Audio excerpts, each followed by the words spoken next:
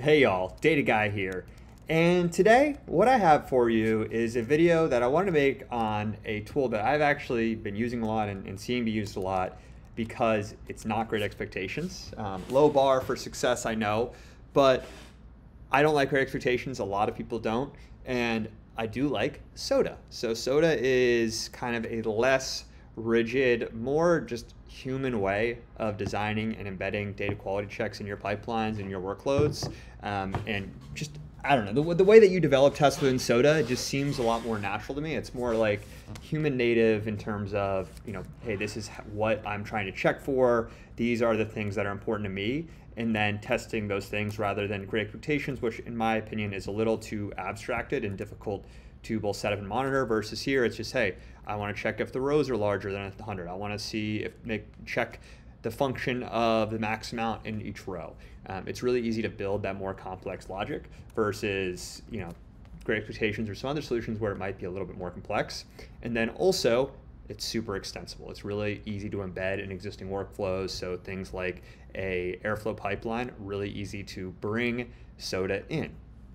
But first i just want to start so give you an idea of what SODA is, what it's best used for, how it differentiates from other data quality tools, and then go into how you can get started using SODA, give you some simple examples that you can use to just kind of copy and paste, get started using SODA, and just get your mind percolating about how it can help you integrate data quality better into your pipelines because it's going to be more and more important as the AI and ML uh, march continues on.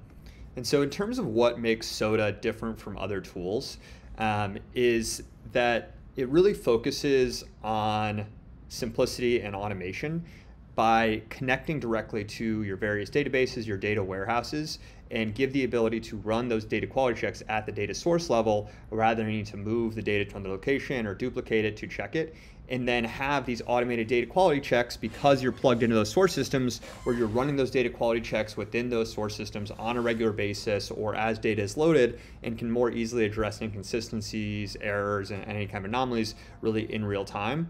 But again, without needing to pay for IO costs, moving the data somewhere else, or having that data have to be checked in a separate landing page before it goes into your data warehouse. Obviously, you can do that if that's your desired approach, but the key thing here is that flexibility in allowing you to run those data quality checks on the data where it lives. Um, and in kind of conjunction with that, you have really, really uh, simple to define data quality checks for here in YAML files. So you can see here, and it's kind of obstructed, but very simple lists of checks you can set. And I'll, don't, I'm going to show you some more complex examples later. But you just take this YAML file where you're looking, hey, I want to check the max passenger length. And then it all will render into a pretty nice UI uh, within Soda Cloud, um, but also just in a results file where you can see, hey, you know, this is the name of that check, this is what that check's doing, and then the actual logic of what's underneath that check, you can have several steps, but you only care about the end result. Is this data has it been checks for pack stats, right? And so you can kind of abstract away some of those more complex uh, individual data quality steps and have that all run as a single flow. Um, and then compounding this is it's got a really lightweight approach, and that makes it easy to integrate into existing ETL processes, existing CI/CD processes, without needing to really you know change up your whole style or approach, and make sure that your data quality is continuously monitored, validated as part of that data workflow. And then it also has the ability to handle both batch and streaming data, so it's really versatile. So if you're, you know, most organizations are going to be doing some combination of batch and streaming, um, and so being able to do both of those and integrate data quality checks into both of those types of pipelines, really nice. Um, and then other differentiators here is integration with, you know, a full cloud environment. So Soda Cloud you, you saw uh, this is what that this is uh, at the high level is the ability to have a cloud UI dedicated to data quality this is meant to be more of a user-friendly approach than you know just like parsing through log files or really difficult to decide you know hey logs of what happened there um, and this also allows soda to by opening up the aperture to less technical people uh, help having more collaborative approach to data quality where teams can work together um, you know if a data analyst see can see the data quality evolving over time and alert the data engineer and say hey this data quality, you know, suddenly this doesn't work with my models, and I notice there's an issue with data quality um, in Soda, they can go relay that to engineer and kind of work together to figure out, hey, what is, where is the data quality uh, getting messed up? What are we missing here? Um, and then get better data to those end business use cases. Um, and then also emphasize ease of use because these checks are all predefined. Um, if I want to start applying this to a new pipeline, it's very easy to just you know copy and paste or add that step to that pipeline. Um, and it's also got that declarative interface and a very quick setup as you'll see here. Um, and then finally, open source. Soda is really focused on open, being open source via its plugin with Soda SQL. So that's how it interacts with those source databases. So it allows your data team to customize your data quality workflow without vendor lock-in. So again, key thing, a lot of data quality platforms are really rigid. It's you got to have the whole all-in-one solution. It's really heavy overhead. Soda is super lightweight and cheap. You can pretty much run it yourself for pretty for very very low cost, um, and so allows you to quickly implement and scale data quality processes without needing to pay a ton up front or introduce a lot of unnecessary complexity into your environments. So now that you have the elevator pitch on you know why Soda is so great, why you should use it, I also want to go into how you can actually get started using it. Um, and so the first thing you need to do is pip install a couple different packages. So the first thing you're to need to install is pip soda install soda SQL core. Um, and this is just going to install all the core SQL libraries. You'll need to have Python 3.8 or above. Um, and we need to have the right, interesting, let's see what went wrong here. All right. So this is an issue here, so one second, let me upgrade pip. Okay, so I was apparently working from an outdated toolkit, so what you're actually gonna wanna install uh, is something like this. So pip install I from PyPy Cloud, Soda.io, Soda Postgres, or Soda Snowflake, or Soda whatever database you're interested in interacting with. Um, you can see this is going to install all the dependencies. Not sure what's going on before, but here we are. So important that you guys see these kind of errors because you'll probably run into some of the same. Um, so make sure you use that install command. It's on the SODA documentation if you need to get it. Um, so it's super easy to grab there. Um, and then once we have everything installed, our next step is going to be actually you know, setting up and interacting with SODA. So we have the installed, but we don't have anything actually running. And then the next thing we're going to need to do is actually navigate to wherever you installed Soda. So in this case, it's right here. So opt, homebrew, uh, lib, python 3.10. Let me just move this window over a little bit so you can see it better. Um, site packages. So let's go back into that. So ls opt, cd into opt here, ls here, cd into homebrew.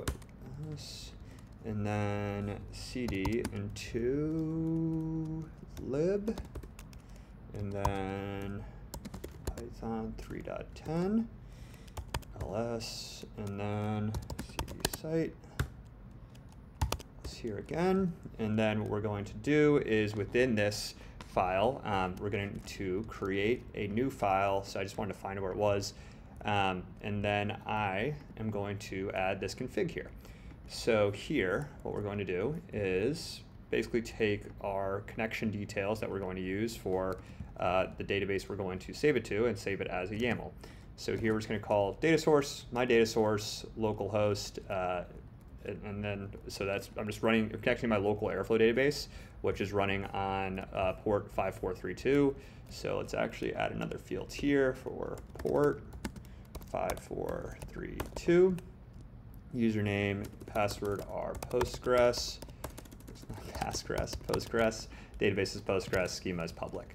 Um, and then what we're going to do is save this as uh, config.yaml. So here we have configuration.yaml file. So configuration.yml.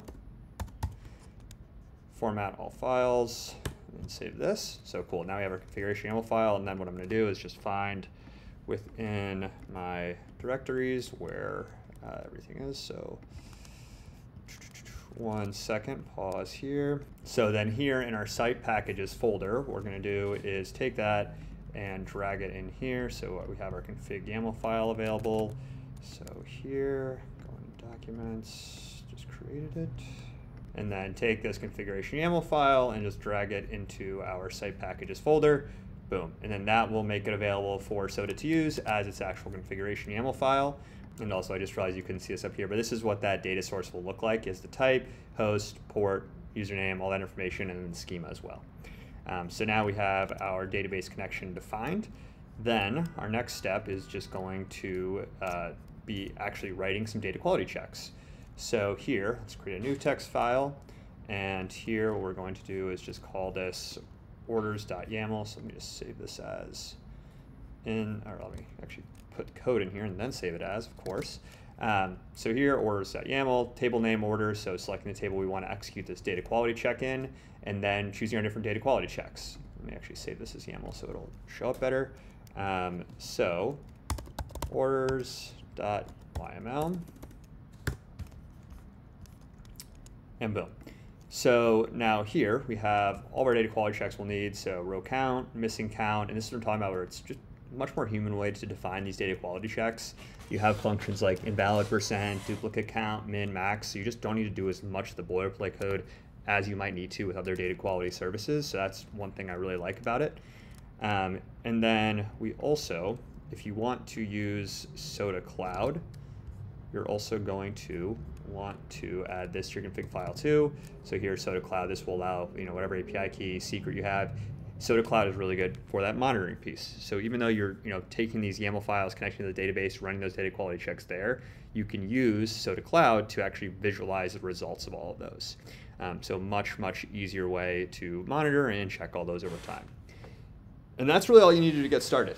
Um, so then the next step, and I have a video on this, is orchestrating those SODA checks with Airflow with your data quality pipeline. Um, that's a whole other video, and I'll definitely take it further if, if, this one gets some love. But just wanted to show you a video on getting started with SODA and kind of what it kind of looks like, um, so that then I can gauge, hey, do you want me to take it further? Is this a waste of my time and your time?